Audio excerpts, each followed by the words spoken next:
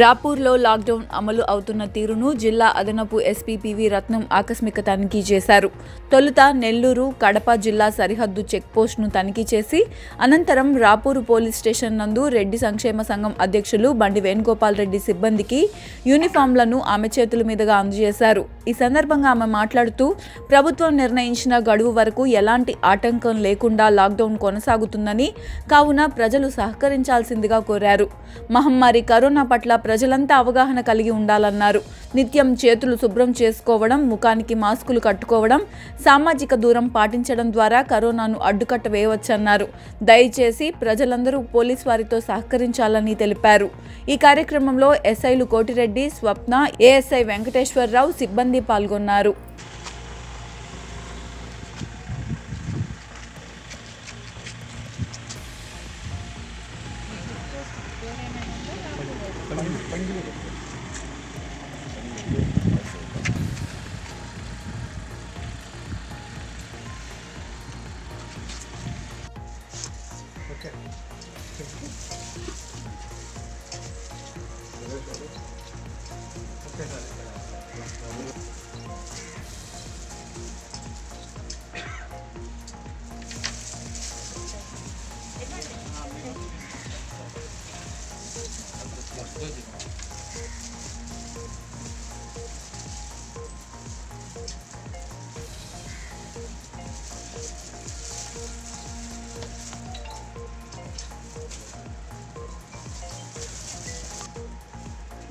చేసి మీకు నాకు టూ థౌసండ్ ఫోర్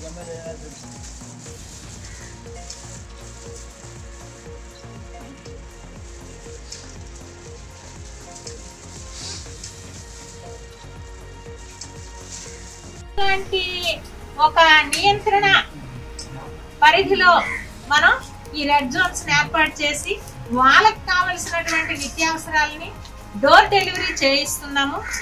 అది అనేకమైనటువంటి డిపార్ట్మెంట్స్ తాలూకా కోఆర్డినేషన్. రెవెన్యూ అయితేనేంటి మున్సిపాలిటీ అయితేనేంటి అదే విధంగా వాలంటీర్స్ మహిళా పోలీసులు పోలీసు వారు ఈ ఈ అందరి సహకారంతో వాళ్ళకి కావలసినటువంటి నిత్యావసరాలను వాళ్ళ ఇంటికే తీసుకెళ్ళి అందించడం జరుగుతుంది. కాబట్టి ప్రజలందరూ సహకరించాలి. అందరూ సహకరిస్తేనే దీన్ని మనం నివారించవచ్చు. అది అందరికీ తెలిసిన విషయమే. ఇది ఎదురుగా మాట్లాడిన పక్క పక్క నిల్చున్న వచ్చేటటువంటి వ్యాధి. కాబట్టి మనం దూరంగా ఉండాలి. క్రియేట్ చేయాలి. వాళ్ళు కూడా ఆ రకంగానే ప్రవర్తించి సహకరిస్తే తప్పకుండా ఇంకొక నెల రెండు నెలల్లో అసలు ఈ కరోనా అనేదే కనిపించకుండా చెయ్య చేయగలం. అది మన చేతుల్లోనే ఉంది. కాబట్టి ప్రతి ఒక్కరూ కూడా ఇంటికే పరిమితం అవ్వండి. బయటికి రావద్దు. ఎవ్వరూ బయటికి రావద్దు. నిత్యావసరాలకి కొంత రిలాక్సేషన్ ఇచ్చినప్పటికీ సిక్స్ ఓ క్లాక్ నుంచి మార్నింగ్ నైన్ ఓ క్లాక్ వరకు ఇచ్చినప్పటికీ ప్రతి ఒక్కరూ కూడా దాన్ని గమనించి వాళ్ళకు కావలసిన అవసరాలను ముందుగా ఒక పేపర్ మీద రాసుకొని రెండు రోజులకో మూడు రోజులకో ఒకసారి బయటికి వచ్చి వాళ్ళ అవసరాలన్నీ కొనుక్కొని వెళ్ళాలి తప్ప ఏదో రిలాక్సేషన్ ఉన్నది కదా అని బయటకు వచ్చేసి ప్రతిరోజు అదే పనిగా బయటకు వచ్చి ఏదో ఒక్క వస్తువు కోసం బయటకు వచ్చేయడం అన్నది మంచి పద్ధతి కాదు. ఆ విధంగా కూడా ప్రజల్లో ఒక బాధ్యతాయుతమైనటువంటి భావన క్రియేట్ అవ్వాలి.